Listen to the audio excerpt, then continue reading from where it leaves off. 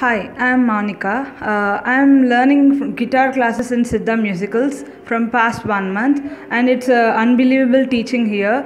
Uh, the faculty is very good. We can learn very well. Uh, I rate up to four and a half out of five.